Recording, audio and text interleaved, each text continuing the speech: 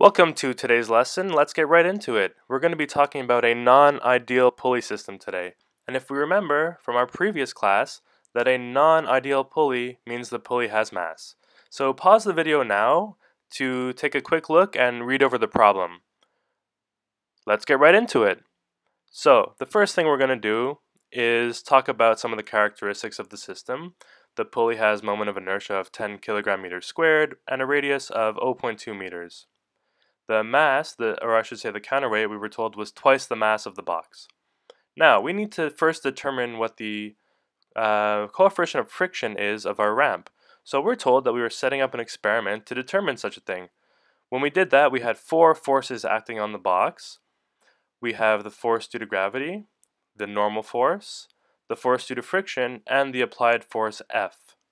As always, we have to set up our coordinate system, positive x direction and positive y direction, as always, determine positive x direction to be in the direction where acceleration would occur. So start by summing the forces in the y to solve for your normal force. In this case, it's simply mg because we have no acceleration and no other components of any other forces in the y direction. Fn equals 490.5 newtons. Now let's sum the forces in the x direction. We have no acceleration again as we're moving at a constant velocity. So our applied force will equal the force due to friction. The force due to friction is simply the kinetic coefficient of friction times the normal force. Solving for mu k, we get approximately 0.51. Now, this was like our side problem, a mini problem within the bigger problem. So let's highlight that on the side and get it back to the main issue at hand. We'll add mu k to our diagram, and we'll get started again with free body diagrams. Always set up your free body diagrams. Let's actually start with the more difficult one first. Let's start with the block on the inclined plane.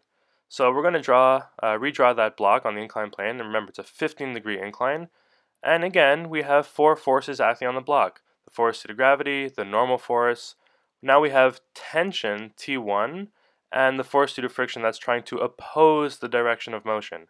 In this case, we don't have assumed acceleration, we do indeed have an acceleration we will define our positive x-axis to be in the direction of that acceleration. In that case, we have a tilted axis system, but that's okay. So let's look at the y direction first. Let's sum the forces in the y. We are not accelerating in the y. So we have Fn, the normal force, is equivalent to the y component of gravity. So it's Fg cosine 15. Solving for Fn, we simply find that Fn, in this case, will be equal to 473.78 newtons.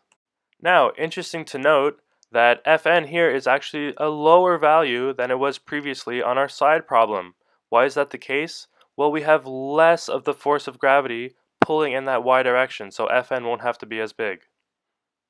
Solving our Newton's second law in the x direction, so the net forces in the x are equal to mass times acceleration in the x, we have our tension force, T1, our friction force, and a component of gravity. And indeed, we are accelerating the x. This is the question of the problem, is what is the acceleration of the system? Here we're going to solve for t1. t1 is an unknown, as well as a, but let's solve for t1. So t1 comes out to 368.582 plus 50a. Moving on to a second free body diagram, this time of the counterweight. What's really important to remember here is that we have a non-ideal pulley system. Therefore, we have two different tension values. Both masses do not experience the same tension. So we have T2 pulling the counterweight upwards and the force due to gravity pulling it downwards. And we assume the direction of acceleration is downwards. So we let's let's call this the positive y direction.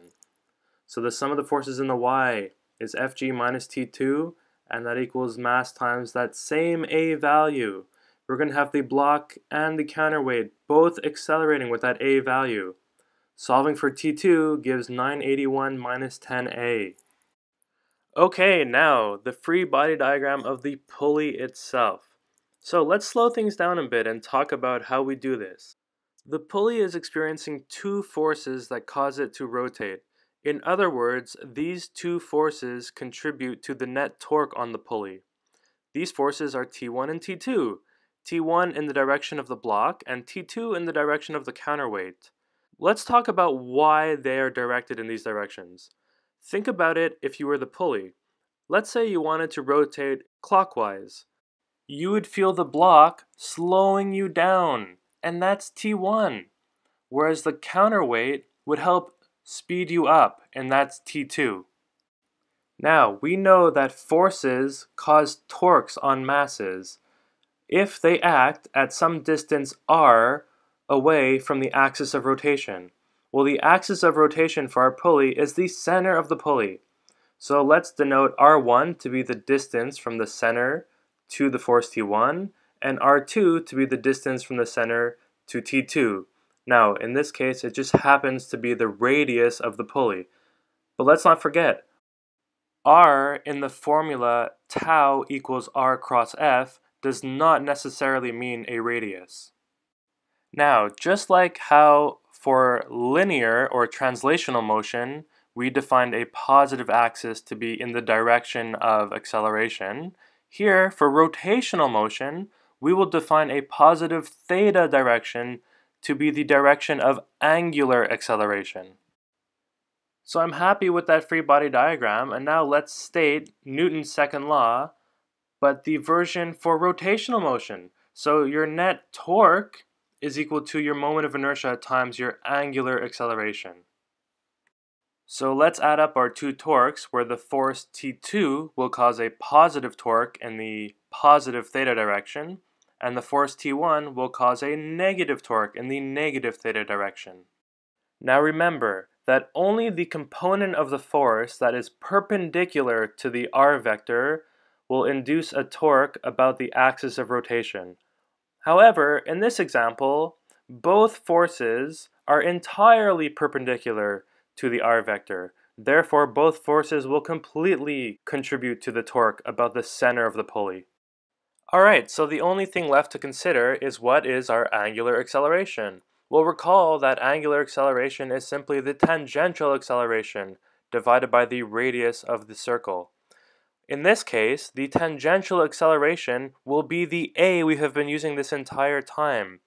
In other words, it is the acceleration of the block, rope, counterweight system moving past or moving over the pulley itself. So we can replace alpha with a over r. And that's it. So we're just going to clean this up a bit and get ready to substitute for the values of T2 and T1 that we've solved for previously, as they each simply had the A as an unknown. So let's take our T2 and substitute that in, and take our T1 and substitute that in, and simply solve for A. And there you have it, A equals 1.53 meters per second squared. Thanks for watching!